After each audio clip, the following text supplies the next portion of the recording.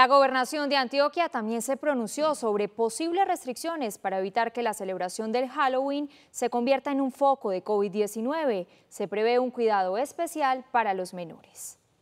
Aún no se ha tomado la decisión oficial, pero ya se empiezan a sumar voces en Antioquia a la recomendación del Ministerio de Salud para que los niños en la noche de Halloween no salgan a pedir dulces. Con esto quieren evitar la propagación del coronavirus. Nosotros desde la Secretaría de Educación hemos iniciado una campaña para que no dejemos salir a los niños y las niñas a pedir dulces ni a las calles ni a los centros comerciales.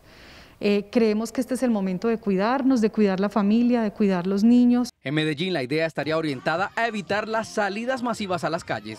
Vamos a tomar medidas, eh, pero todavía no, no, no, las vamos a informar. En su momento, después de que salgamos de este tema de la marcha, ya, ya el, señor alcalde la, dispondrá de las actividades que vamos a realizar para el tema de Halloween. Lo más seguro es que no se van a realizar actividades de aglomeraciones en, en la ciudad.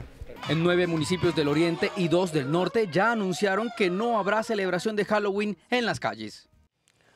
Y atención que FENALCO pide Halloween a pesar de que el Ministerio de Salud insiste en que esta celebración en el 2020 no puede ser como en otros años por el riesgo que implican las aglomeraciones. FENALCO Antioquia cree que celebrarlo con restricciones terminaría siendo contraproducente para la reactivación económica. El gremio de los comerciantes pidió entonces que no se impongan límites en relación con la tradición, porque asegura, si se cumplen los protocolos de bioseguridad, se podrá salir a las calles sin problema.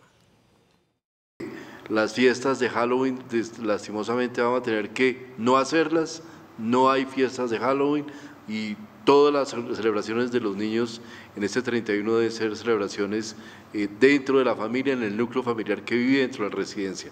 Dejar la responsabilidad en los ciudadanos, dejar la responsabilidad en los padres de esos niños y por supuesto permitir en su pleno funcionamiento esta y todas las fechas comerciales que faltan para reactivar la economía, recuperar la demanda y recuperar el empleo de los antioqueños y los habitantes del Valle de Aburrá y de Medellín.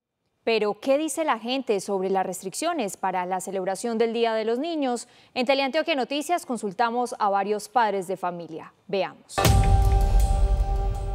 Estoy de acuerdo con que no lo dejen salir, que hayan restricciones, porque realmente esto no es un juego, esto es de verdad, verdad, y nos tenemos que cuidar todos. Por evitar contagios, ahorita no estamos como para estar en aglomeraciones. Sí, está de acuerdo porque ahora eh, por el contagio se pueden contagiar más fácil. Eh, tenemos que seguir cuidando a nuestros niños y que pasemos esa festividad en casa, celebrando en familia, pero eh, no podemos permitir las aglomeraciones. Que los dejen en la casa, es mejor allá.